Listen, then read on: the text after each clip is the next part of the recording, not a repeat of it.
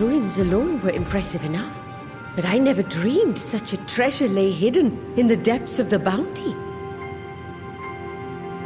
It may have been helpful to know this device existed, Your Excellency.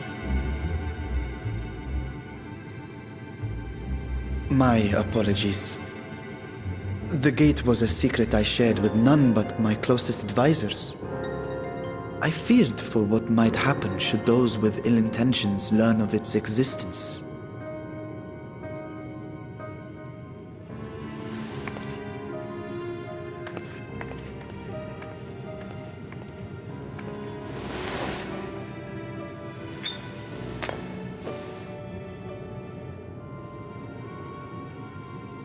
What is it you're doing now? There's something I wish to verify. The NOAH reports claim that a short stint into the void carries little risk of etheric imbalance. Should one suffer an injury, however, or if one's expedition drags on longer than intended, that risk becomes significantly greater. G'raha theorized that a warding scale would confer protection from the Void's corrupting influence. But I would prefer to test that hypothesis before we set foot in the 13th ourselves. So, this is an experiment of sorts. Yes, an experiment. Tell me, how would you go about testing the efficacy of the warding scale?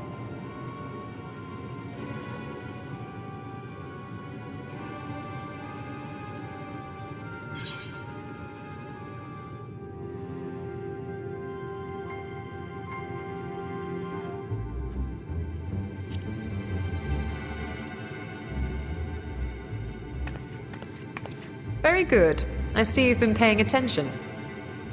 As Vrtra sent his simulacrum, so too shall we rely on a familiar to bear the brunt of any unpleasant consequences.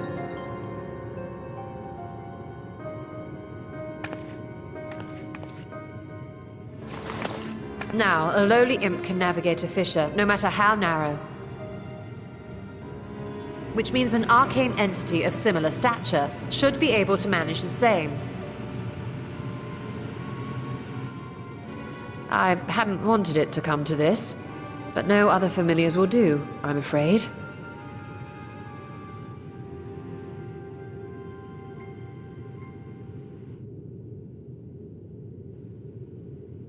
I mislike the sound of that. What manner of fiend does she mean to summon? From ocean rise and cloudbank form, from mountain spring and rainfall storm, from river flow and life be born.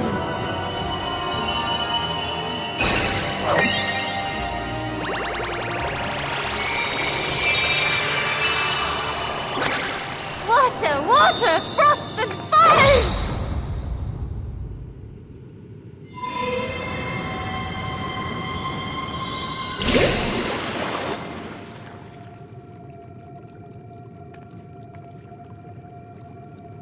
Ready your arms. I fear she's been possessed. Oh, come now. That was adorable.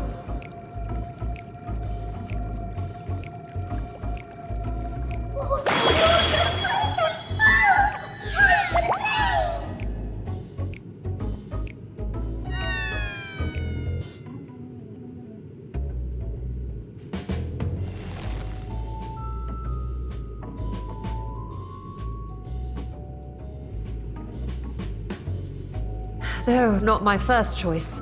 These familiars I conceived of as a child have the best chance of fitting through the gate. I only wish my younger self had considered a more dignified ending to the creation ritual.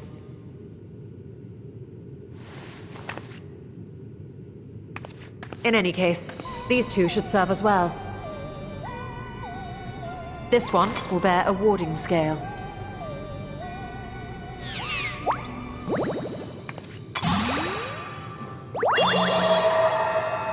And when they return from the 13th, we can observe how the talisman, or absence thereof, has affected the progress of the Void's corruption.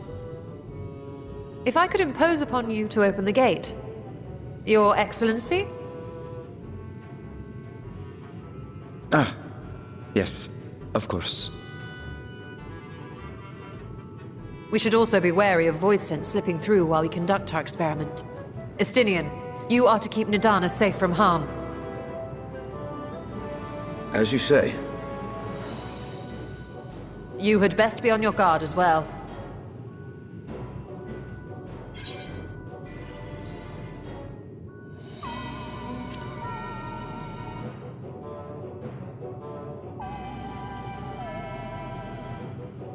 Oh, are you volunteering to join the Nixies? I could shrink you down, you know.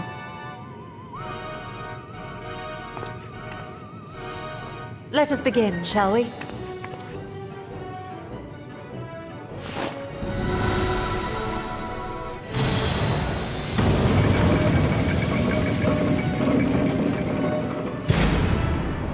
Nixies, into the void.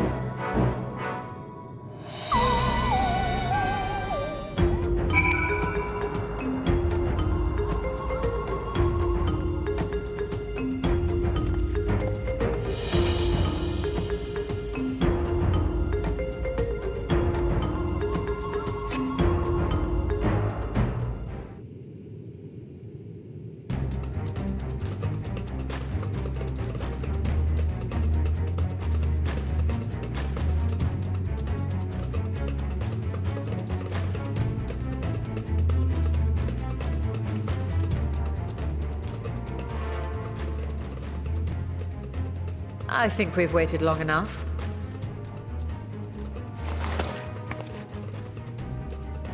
Nixies, return to my side.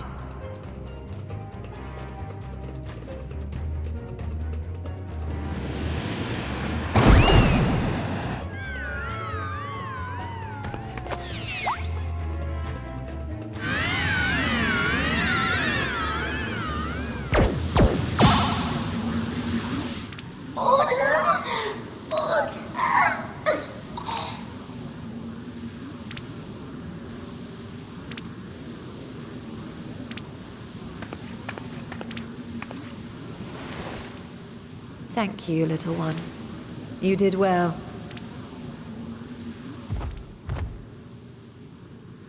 Oh, the poor thing. Its essence has been irrevocably warped.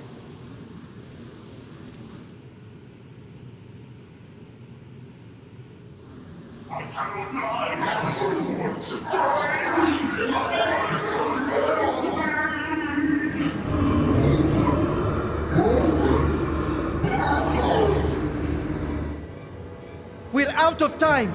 I must reseal the Void Gate.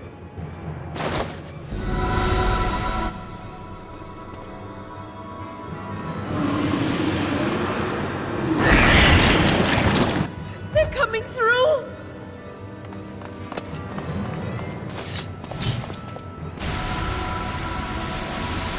In the name of Alzadaal III, I bar this door unto the void!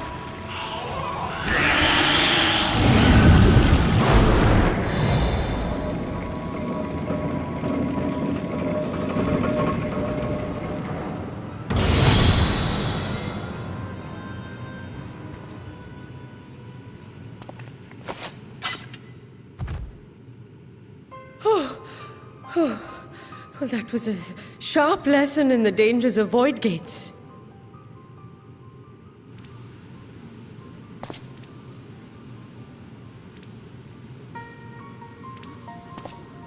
And what of our experiment? I'd say the results speak for themselves.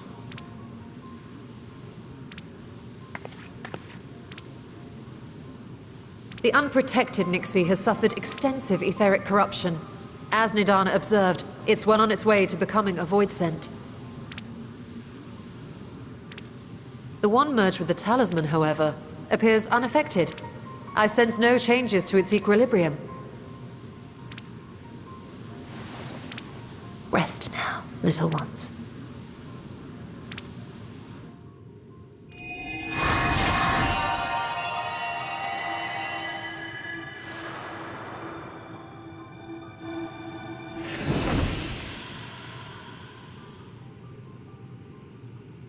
G'raha's theory was correct then.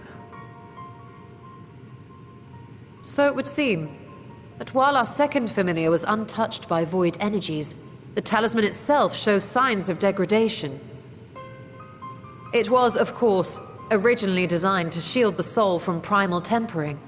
It stands to reason that etheric corruption of a different sort would affect it differently. We may need to modify the warding scale's design to account for the 13th's uniquely unstable ether. You've said much of the Void's instability, but my imagination fails me. What manner of place is this broken world? Ah, my apologies. I forget that not all of us spend our days sequestered in dusty archives. The 13th is a reflection of the source that was drowned in a flood of darkness. In Emet-Selch's own words, this tragedy was a result of the Ascians' attempts to force a rejoining. They erred in their haste, and made of that world a useless void.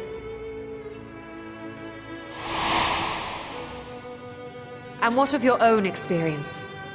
Will you tell us of what you observed during NOAH's expedition?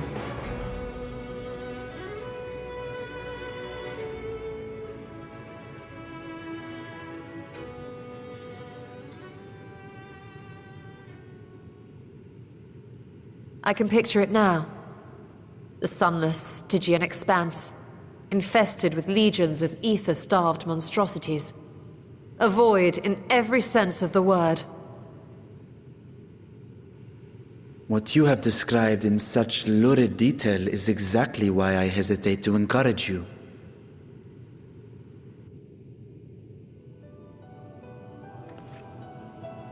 Worry not, great Vrtra. Our journey into the 13th is but the first leg of a longer voyage. A voyage that shall lead us to other reflections, to new mysteries and discoveries. And I mean to be there every step of the way.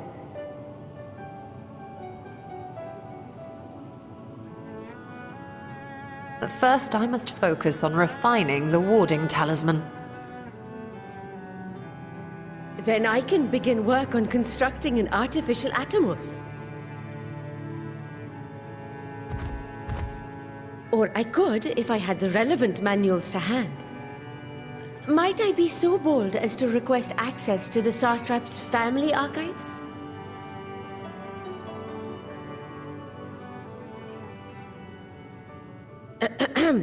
Your Excellency? Hmm? Oh, yes. That can be arranged. I will speak to my officials upon our return.